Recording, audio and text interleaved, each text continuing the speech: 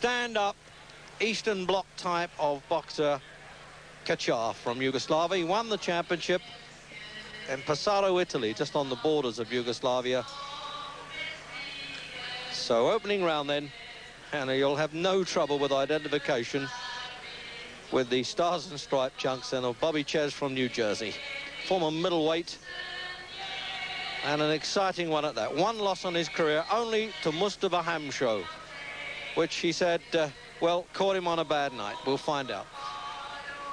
Just prods away with the left hand, Kachar. I've seen him quite a few times, including winning the championship in Moscow, but he'll, he'll know he's got a rough handful there in front of him in Bobby Czyz. Not the easiest of fights uh, for commentary, Kachar and Czyz. Five feet ten, Kachez. He doesn't really look it, does he? Because uh, six foot two, Kachar. But he usually boxes his way through well, but he's he's got a tough young guy. He's only 24, Czyz, and uh, very popular on the American cable stations boxing tournaments.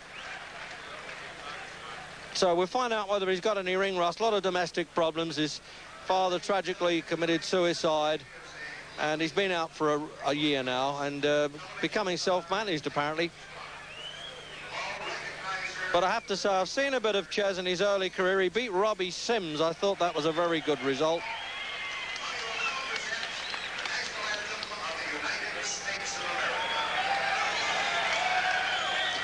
So midway through the first, and I think that's the pattern there, the stand-up, typical amateur style, really, of Kachar. Oh, he's already unloading those right hands. He's getting himself well inside the guard there, the American.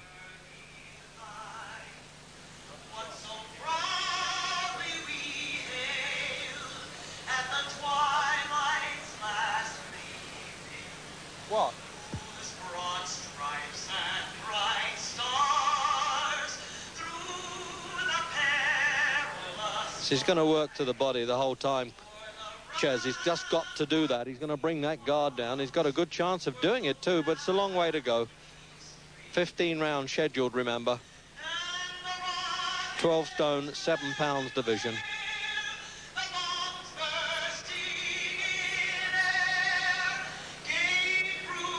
Well, he really does look, does look like the son of Uncle Sam there, doesn't he? He's uh, very nationalistic at the moment, the Americans with their fighters, following, of course, the great wins in the last Olympic Games.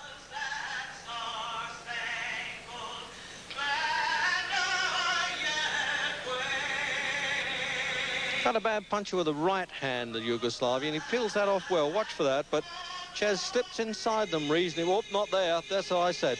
He can, he can tag with that. Oh, but he's got caught back. That's the way to counter punch. And I tell you, that's the best thing that could have happened. Start by the challenger. And a very popular fighter in America, you can imagine, with this style, the get stuck in Rocky type of stuff. But whether he can stay that 15 rounds if he has to now is a problem. Oop, but not the way he's keeping this up. What a good start. He's, uh, he's knocking a little bit of the desire, I think, out of Kachar had it his own way for so long. 20 unbeaten fights, 11 stopped the Yugoslav. But Czyz has had 28 wins and only the one loss.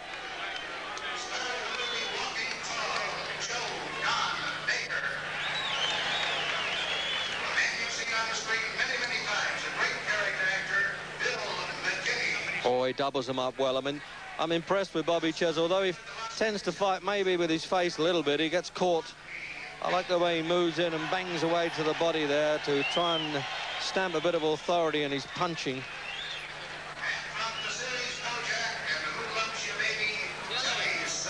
Plods away well with the left hand, though, the Yugoslav. He, he score, scores points with that.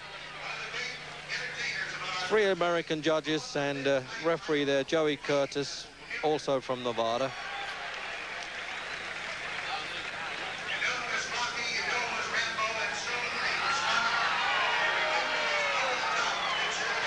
Oh, he's... Oh, it's... I tell you, it's the, the writing's on the wall there for the underdog to become the new champion. And he's recognised by the IBF as the challenger despite 12 months of inactivity. But he stopped Murray Sutherland, the Scot who emigrated to America and did very well here. And that was a good result by Czyz. That's his last fight.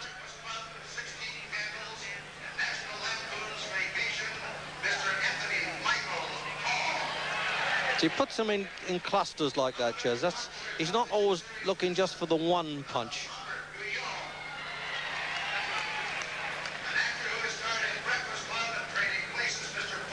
Well, he's almost ignoring the Yugoslav's little jabs that are coming at him there. He's holding on a bit there. He's hurt all right, Kochar. And Joey Curtis having to wrestle them apart. He tends to do that and it's a bit of a takeover by the American.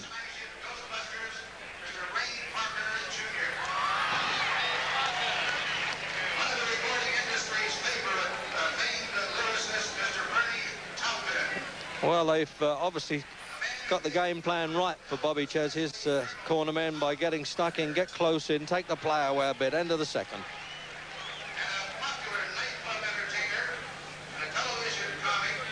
Yugoslav might be able to ride the storm a little bit. He's uh, he's used to long distance fights in a way. 15 rounds against Eddie Mustafa Muhammad, known as Eddie Gregory originally. Won the championship in December 85 in Pesaro.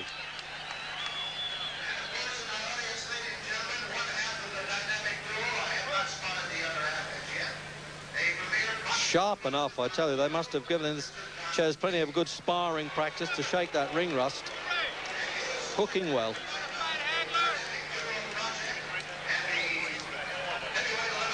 And looked to me as though Yugoslav punching hard enough to stop this man in his tracks. He's got to do a bit more than that to wear him down.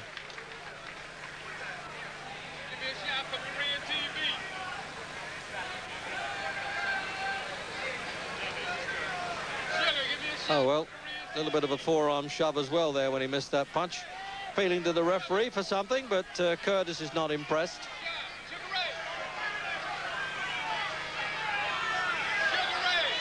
He keeps flicking away the real nuisance jab there, Yugoslav, isn't he, the champion? But he's almost ignoring them now, Bobby Czyz.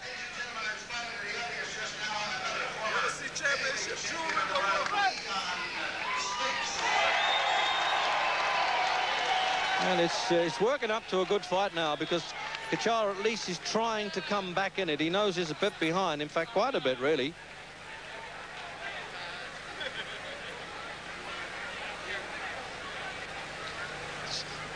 Three knockdowns and not in effect. That means if either fighter goes down in one round, it's automatic. Not the uh, not the fight picture.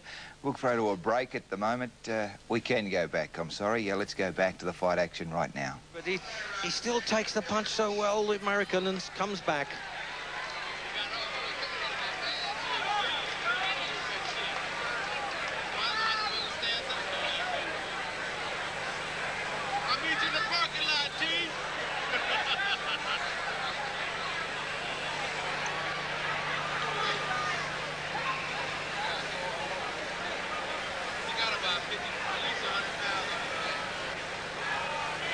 Everything is predictable with the Yugoslav, isn't it? The left hand and then the right comes across. All automatic, more or less straight punches. Occasionally he flicks one to the body there, changes its direction.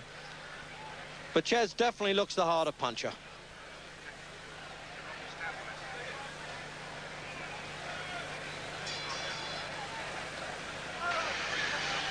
And Bobby Czyz then, the American bedecked in almost a stars and stripes flag there, isn't he? And the, the matching shoes.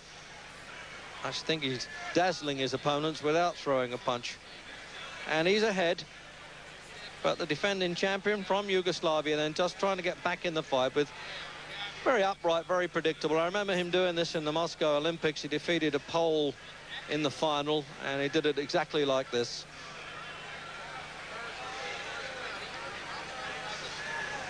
And I tell you, he's been well managed uh, because he's remained unbeaten. Boxed around the world in Hollywood, Rome, Paris, Miami, Chicago. But, oh, yes, it's, it's Czyz back again, isn't it? I was surprised. I thought maybe the year out and the troubles that he's had and losing uh, his father like that, quite uh, problems apparently he's had, and uh, I wondered if it would affect Czyz, but it doesn't appear to have done.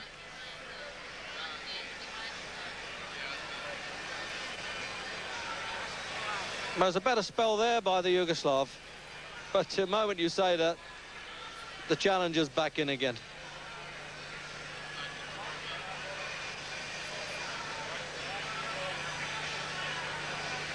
Well, the referee's almost giving him lessons there. He, he doesn't stop talking, Joey Curtis, in a fight. He really doesn't. Get a touch of the GBH of the ears these boxers can get.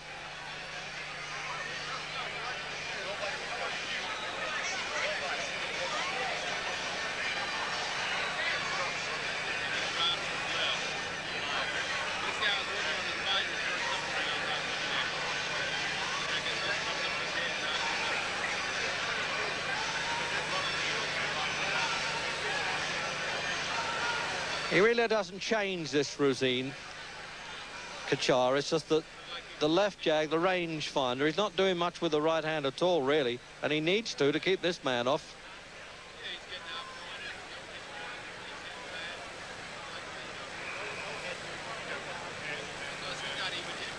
It actually suits Bobby Czyz to get the champion to open up punches with him. He warned for a low blow there, but uh, I think Bobby Czyz had other things on his mind. Wasn't worried about that.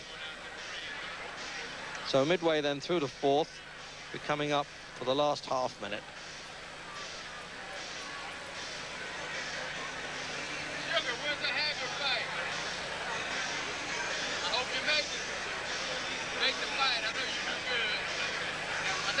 It's almost as if he's clock watching Bobby Czyz. He does it right at the end of the rounds there. There it is, a good, a really good uh, combination there.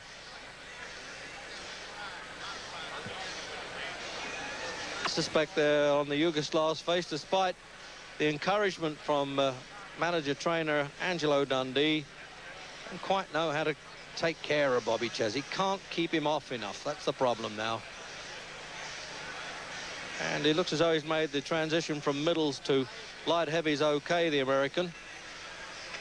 Came in at 12-4 and three quarters. Oh, that's the way to work to the body. He's really bringing the champion's guard down with those. That's all the softening up process and then to the chin. Good round for Bobby Czyz. Can he win the championship? Well, he got him down there. Is he going to test? Is he going to take the count up or not? No, he's not calling out a count. I would have thought he could have done. He tripped over a left hook as well. But he's got plenty of time in the round to do this, and it looks like Bobby Czyz can become the new champion. And Kachar, remember, unbeaten. He can't cope with this. It's never happened to him before, not this constant pressure. And the referee almost mixed up with him there. And it's all over, quite right. And not before time, really. I think the Yugoslav will object to that because he wasn't down, but he just wasn't fighting back. Angelo Dundee doesn't seem too pleased about that, but I can assure you that Bobby Czyz does. A minute 10 seconds of the fifth round, the new International Boxing Federation champion of the world in the light heavyweight division. And this ring is absolutely packed with Chappie Czyz, his nickname supporters. He really is a popular fighter in America. And what a great comeback it's been for a man who's uh, really had some troubles in recent times. So that says it all. A big kiss on the cheek from the followers.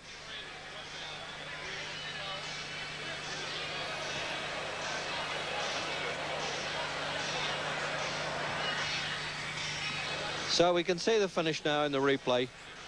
See the left hook there. He really he couldn't control himself properly. He did well to stand up there, the Yugoslav. And again, it's a wonder he didn't go down for that, but he had no way. He just wasn't throwing punches back.